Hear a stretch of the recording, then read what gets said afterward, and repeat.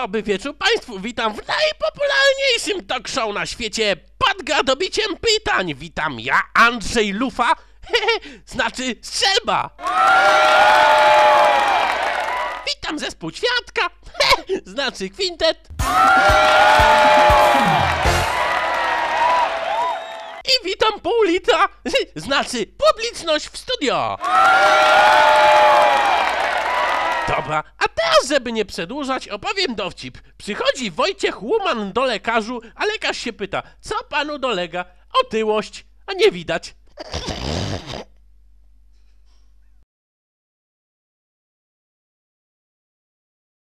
He, dobra, a teraz przed państwem nikt inny jak nie kto inny, tylko Wojciech Łuman we własnej osobie. Zapraszamy!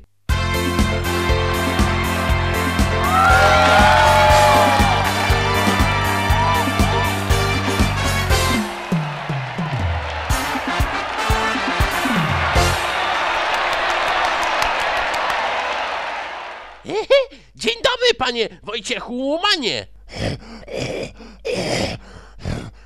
Dzień dobry, pa, panie Andrzeju Lufo, strzelbo. Dobra, i od razu takie pierwsze pytanie na do widzenia. Ile pan ważysz?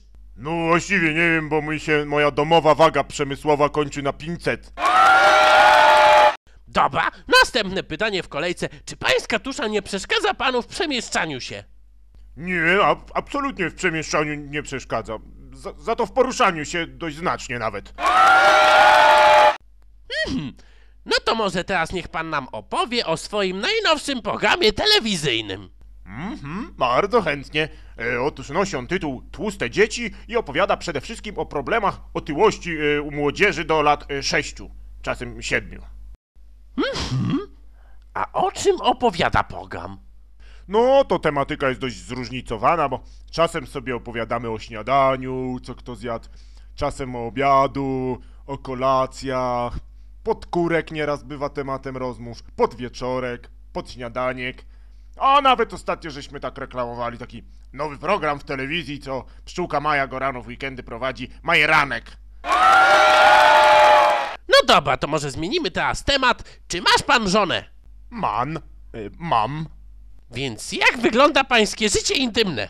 No właściwie to nie wiem, bo uda mi tak zasłaniają przyrodzenie całkiem. Ale w trakcie zwodu widać główkę.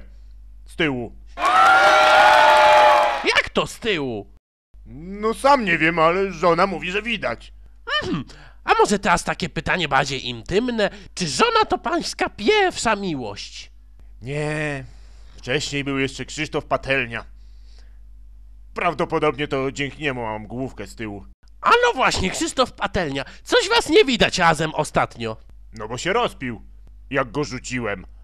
To co on teraz porabia? No pije. Jak się rozpił, to, to co ma robić?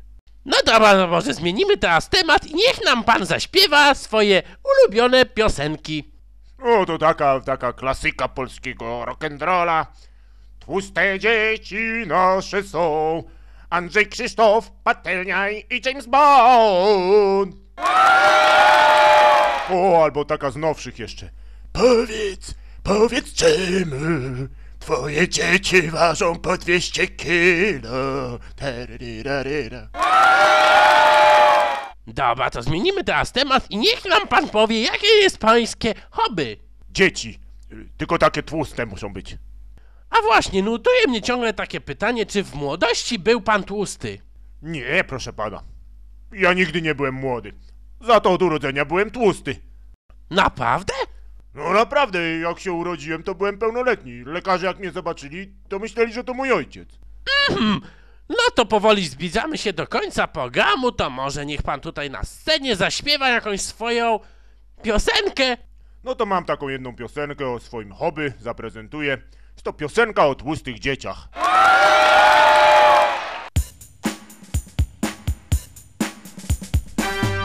Taram, taram, tam, tam. Mam taki fajny program. Tłuste dzieci, doń zapraszam. I je przebieralni podglądam. Najbardziej lubię Andrzejka.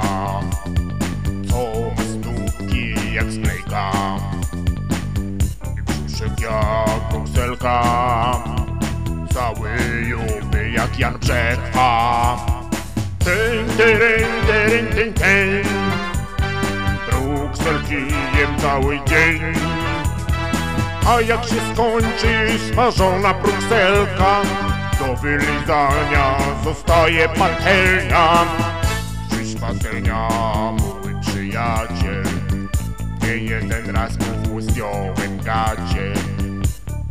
Zresztą też zdejmował Troskliwie się mną zajmował. Niestety się rozpił potem Codziennie leżał pod płotem. A jam się zalewał potem Jak on tam leżał pod płotem. Tararur, tararira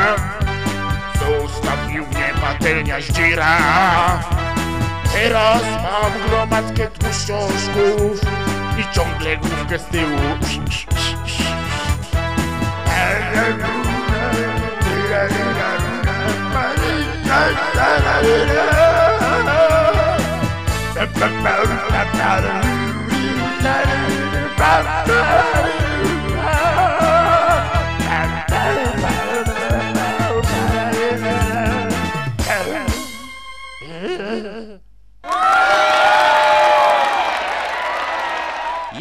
Zwykle przepraszam za żałosne wykonanie piosenki.